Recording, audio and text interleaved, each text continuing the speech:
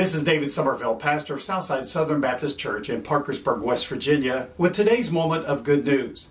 There was a professor at college who wanted to do a study about human kindness.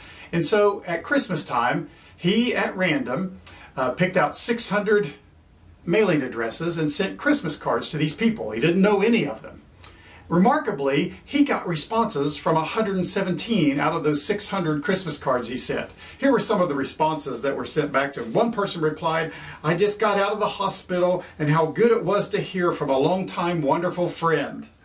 Another person wrote, we had a difficult time at first remembering who you were, but after some thought we remembered. Please give our love to your father. He is such a wonderful man. You see, this little experiment goes to show you that if you extend a little kindness to others, it will usually be returned. So give some kind words and kind actions to those around you. You'll be surprised at the result. And about all those Christmas cards, I want to suggest something to you that we have done in our family for many years. The Christmas cards that we receive, we save and put in a basket on our dining room table. And at mealtime, usually at supper or dinner, uh, we take one of those cards before we give thanks to the food and then we read who that's from and we pray also for that person as we give thanks to God for the food. So I'm going to encourage you to do that and that way the, the memory and the, that person sticks in your mind all year long.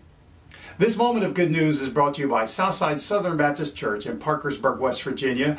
We're meeting this week for Christmas Eve service at 6 p.m. on Thursday. It will also be live streamed on Facebook. I hope that you'll join us.